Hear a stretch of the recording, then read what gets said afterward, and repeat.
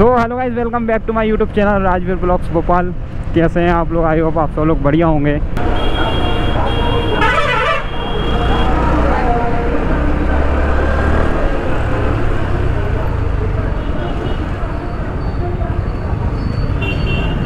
अबे मैं बंद क्यों कर कर दे रहा हूँ?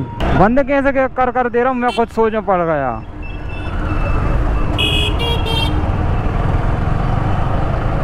मेरा अगला टायर पंचर है शायद।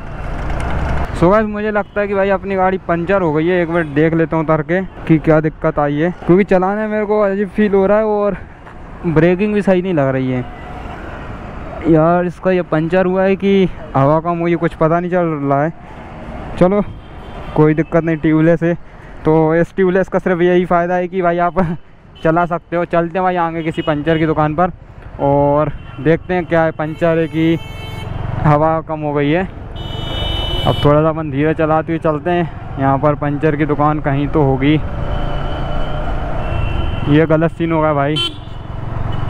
कोई दिक्कत नहीं, आगे दुकान है तो भाई पहले अपन पंचर बनवाते हैं अपनी R N five B three का।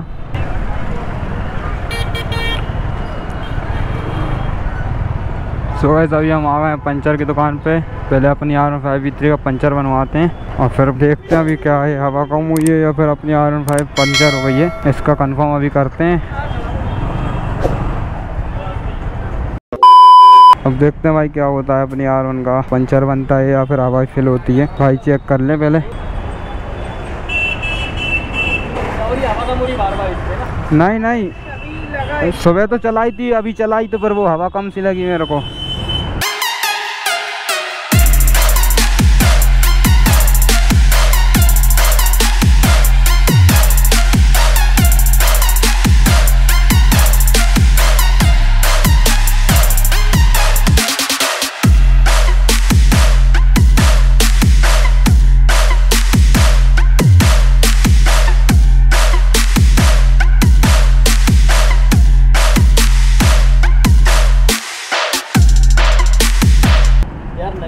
नल की लीकेज है देखो ना सामने निकल। रही दूसरी डलेगी यार है। डाल दोगे आप?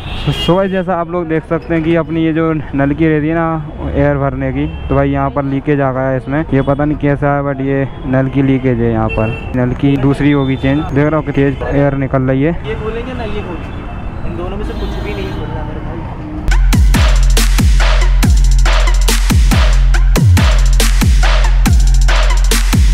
तो वैसे देख सकते हो कि अब अपना टायर खुल चुका है। ये भी मतलब पहली बार ही खुला है, दो साल हो गए, ढाई साल। और पहली बार खुला है अपनी आर फाइव का टायर। तो जो कि मुझे बिल्कुल भी अच्छा नहीं लग रहा है। यार, ये गलत सीन हुए बट क्या करें यार, ज़िंदगी चली ऐसी रही है अभी। मेरे साथ कांड हो गया था, अब अपनी बाइक के साथ हो गया है। बिल्कुल ना खुश हूँ यार मैं इन सब चीज़ों से। बट कोई नहीं यार, चलता रहता है होनी थी, हो गया। बट भाई, झूठ नहीं बोलूँगा, भाई दिल से बुरा लग रहा है मेरे को तो। वो तो अच्छा हुआ भाई यहीं पर हमको पता पड़ गया, आगे जाके ऐसा कुछ भी नहीं हुआ।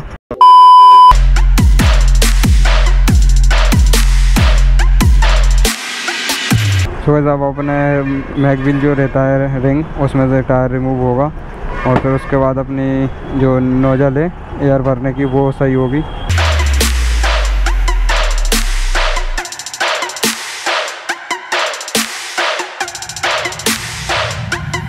तो वैसे आप देख सकते हैं भाई कितने प्यार से कर रहा है मतलब अपना टायर का काम, कि भाई मैग बिल पर स्केच वगैरह ना आए।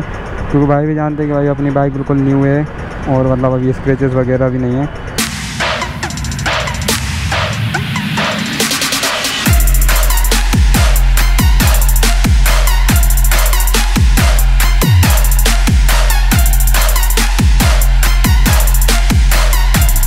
पता है अभी तक नहीं खुला यार कुछ भी ऐसा। पहली बार खुल रही है। पहली बार है।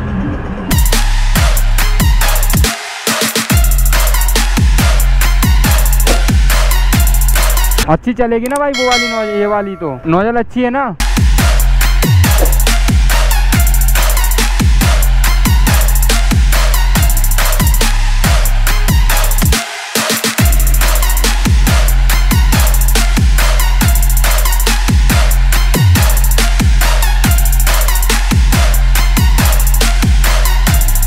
तो वैसे आप लोग देख सकते हैं कि ये वाली नोजल हो गई थी ख़राब। मतलब इसमें से लीकेज हो गया था। तो भाई ने वो चेंज कर दी, अब देखते हैं भाई ये काम करती कि नहीं।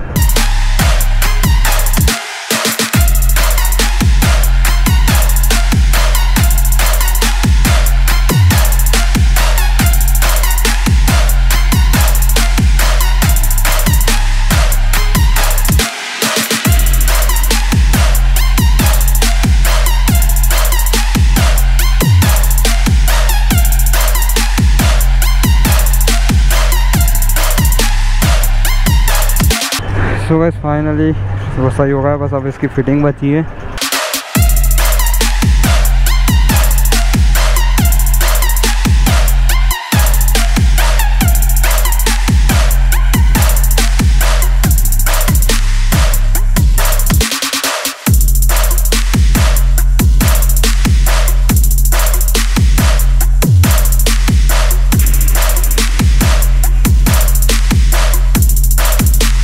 सो बस फाइनली टायर लग चुका है।